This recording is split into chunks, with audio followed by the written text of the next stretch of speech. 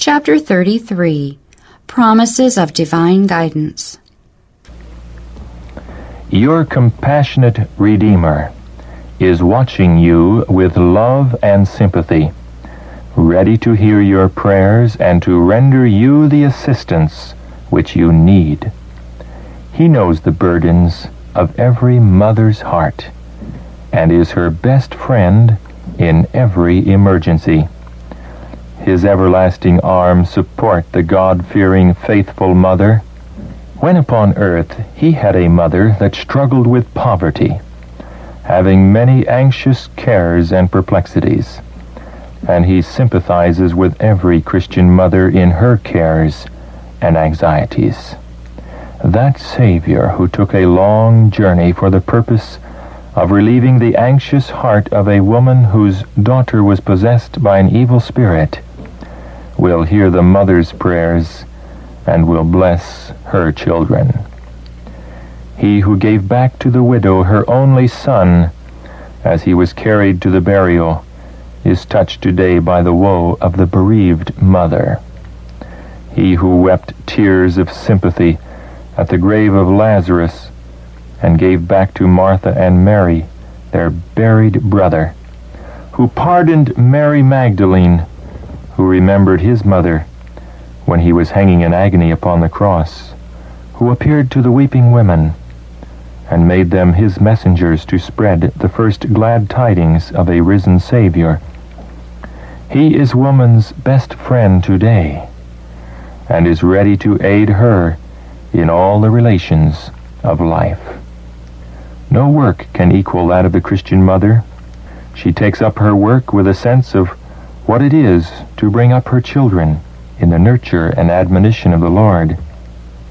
How often will she feel her burden's weight heavier than she can bear?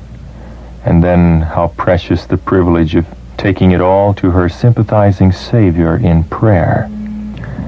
She may lay her burden at his feet and find in his presence a strength that will sustain her and give her cheerfulness, hope, courage, and wisdom in the most trying hours.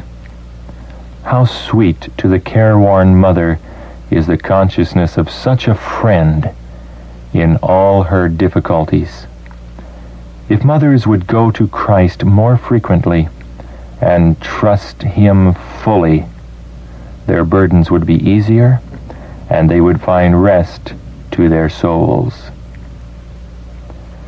You cannot bring up your children as you should without divine help.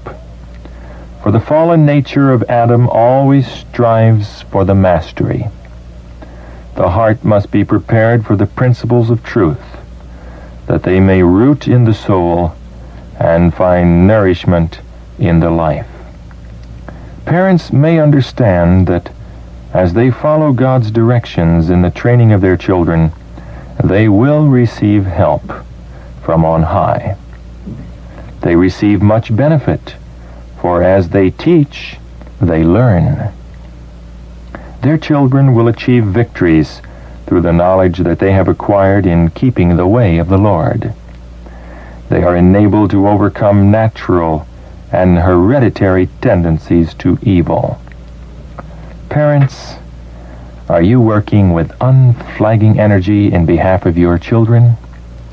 The God of heaven marks your solicitude, your earnest work, your constant watchfulness. He hears your prayers. With patience and tenderness, train your children for the Lord. All heaven is interested in your work. God will unite with you, crowning your efforts with success. As you try to make plain the truths of salvation and point the children to Christ as a personal Savior, angels will be by your side. The Lord will give to fathers and mothers grace to interest their little ones in the precious story of the babe of Bethlehem, who is indeed the hope of the world. In their important work, parents must ask and receive divine aid. Even if the character, habits, and practices of parents have been cast in an inferior mold, if the lessons given them in childhood and youth have led to an unhappy development of character, they need not despair. The converting power of God can transform inherited and cultivated tendencies, for the religion of Jesus is uplifting. Born again means a transformation, a new birth in Christ Jesus. Let us instruct our children in the teachings of the Word. If you will call, the Lord will answer you, and he will say, Here I am. What would you have me do for you? Heaven is linked with earth, that every soul may be enabled to fulfill his mission. The Lord loves these children. He wants them brought up with an understanding of their high calling. The mother should feel her need of the Holy Spirit's guidance, that she herself may have a genuine experience in submission to the way and will of God. Then, through the grace of Christ, she can be a wise, gentle, loving teacher. Christ has made every provision that every parent who will be controlled by the Holy Spirit will be given strength and grace to be a teacher in the home. This education and discipline in the home will have a molding and fashioning influence. Without human effort, divine effort is in vain.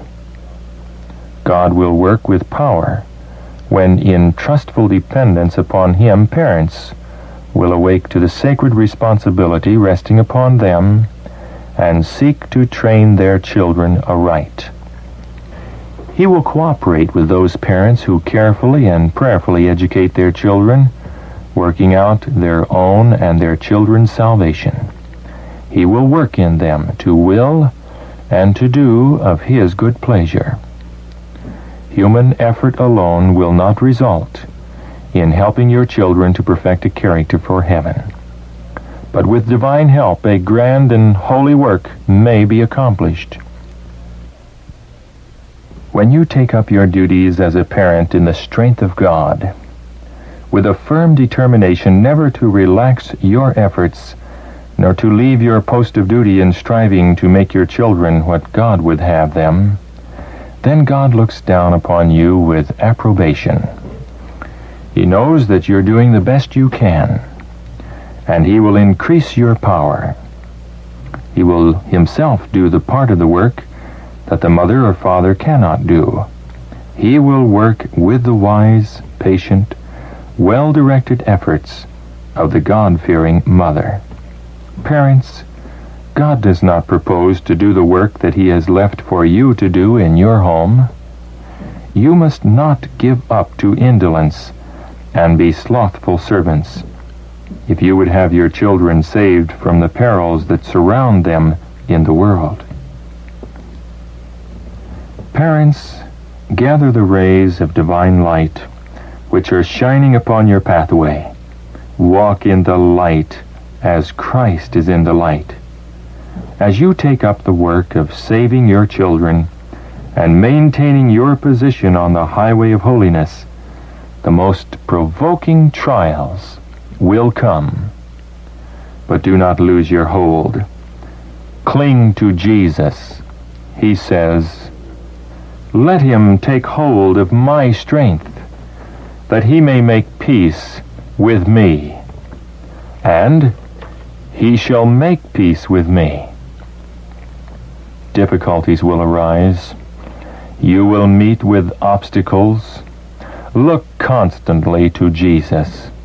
When an emergency arises, ask, Lord, what shall I do now?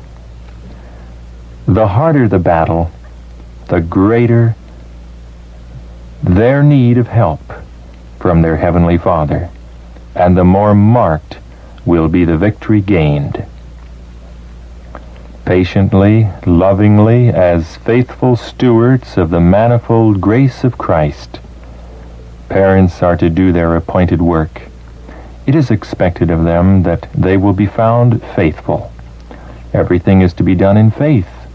Constantly they must pray that God will impart His grace to their children.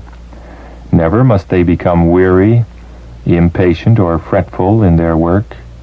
They must cling closely to their children and to God. If parents work in patience and love, earnestly endeavoring to help their children to reach the highest standard of purity and modesty, they will succeed.